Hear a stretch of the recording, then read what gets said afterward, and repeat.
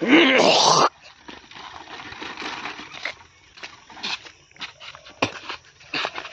बिचमा नराख। बौला जस्तो उता राख्दै उता कुनामा। गाडी आउँछ त। साइकल लिएर मैले त यहाँनिर राख्ला यहाँनिर। पागल। पागलचा कुरा गर्दछ यार। ओ माई गड a फुल गाइज। मास छ त्यहाँ राख्दै उता। बेर रख दे। बस भाई को। तो खिद ले यार जी